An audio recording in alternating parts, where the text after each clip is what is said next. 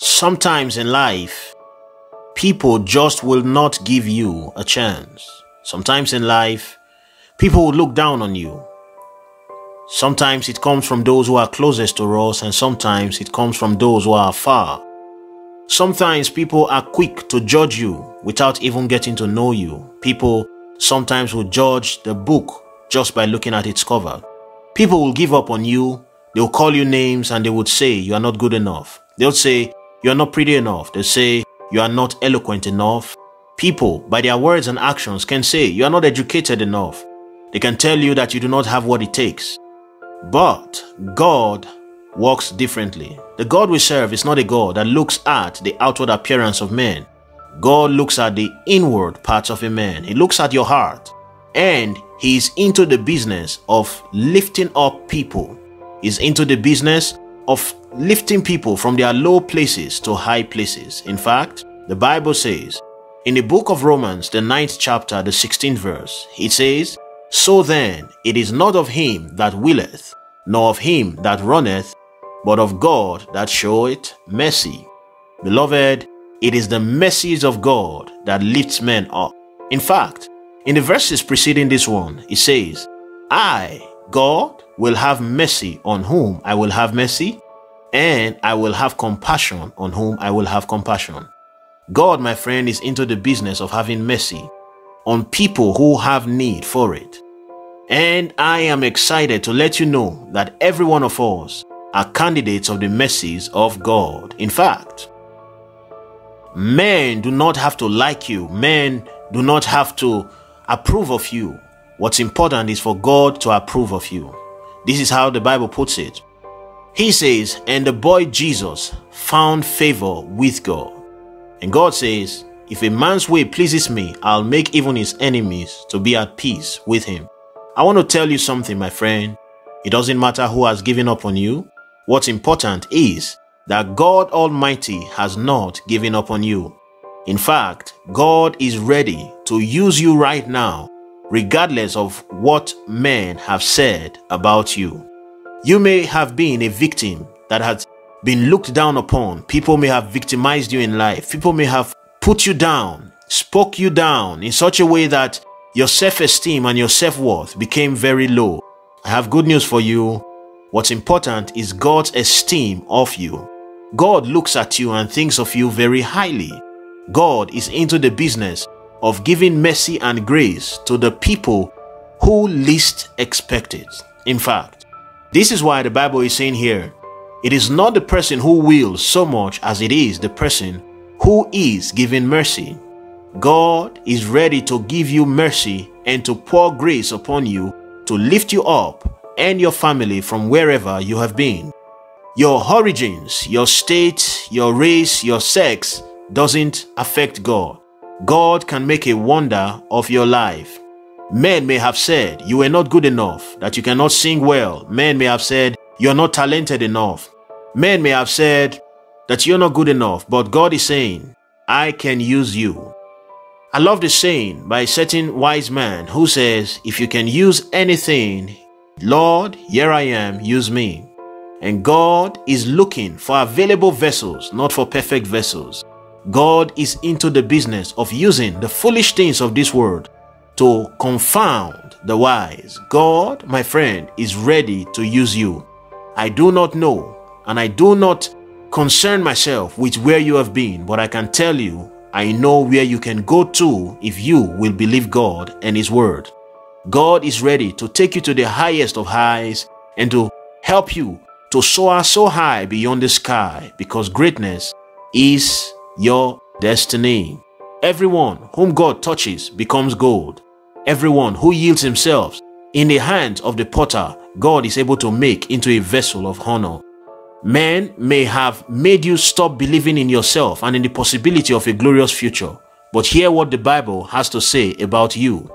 In Ecclesiastes, the 9th chapter, the 11th verse, it says, I returned and saw under the sun that the race is not to the swift, nor the battle to the strong, neither yet bread to the wise, nor yet riches to men of understanding, nor yet favor to men of skill, but time and chance happens to them all. Hear this, beloved.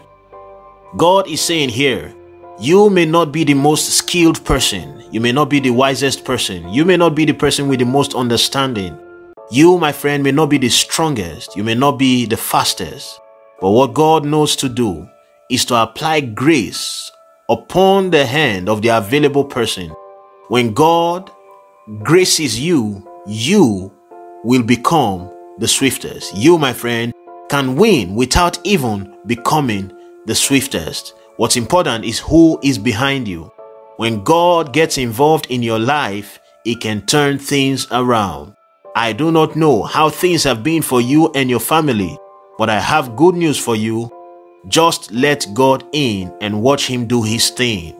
He is a specialist in making things that were once impossible become possible. He's a specialist in using the things that men disregard and look down upon and making them a wonder. This is why, when God was looking to do wonders and miracles in the life of the apostles, He chose the men they least expected. God chose disciples, He chose men that were fishermen, He chose men from the streets, He chose people who no one ever gave a chance. And guess what? The Bible says, after they had been with Jesus a long time, these men became excellent men, such that when people heard them speak, they would say they took note of them because they had been with Jesus.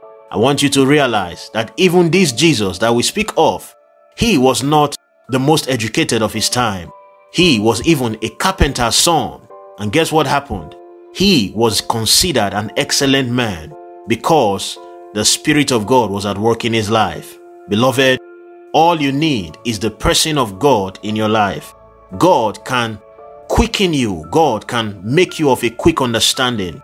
The Bible speaks of the Holy Spirit being upon Jesus Christ and making him of quick understanding. As you continue to walk with God, he will do the same thing in your life that he has done with men previously who trusted him. For example, Daniel stood with kings and was a counselor of kings just because he walked excellently with God. Beloved, do not be quick to write yourself off. If men write you off, God has not written you off.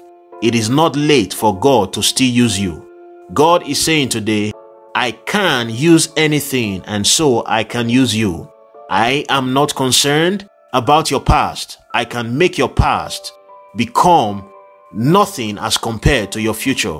I can make your sins to become washed away and make your life and your future be white as snow. God is into the business of painting your future with gold. Beloved, hear this today. It doesn't matter who has said that you will not advance. God is saying, I will. God is saying, I will show you mercy. God is saying, I will cause time and chance to happen for you. God is telling you that it is possible to still have a good life, even if you have had a bad past. Do not judge your future by the nature of your past. If we were to judge futures by pasts and present circumstances, then the seeds would never have a chance to become the mighty trees that we see them today. Every tree you see today was once dead. The seed once died, but it was in the death of the seed that a great tree was born. If your past was a mess, well, good news. God is able to make a mess become a message. If your past is something that you are not proud of, God is able to turn it around and make your future one that you can be proud of. Do not be quick to write yourself off. Do not let people talk you down. Do not be the one talking yourself down. Do not say it is over for you because it is not. God is still ready to make use of you. Remember, He made man from dust. God can use dust. God can use anything. If God can use a donkey, God can use you. Beloved, come to God today. Humble yourself in the place of prayer. Kneel before Him right now. Give your life to Him and tell Him you are ready for Him to use you. Because He is saying, I can use anything, therefore I can use you. God bless you.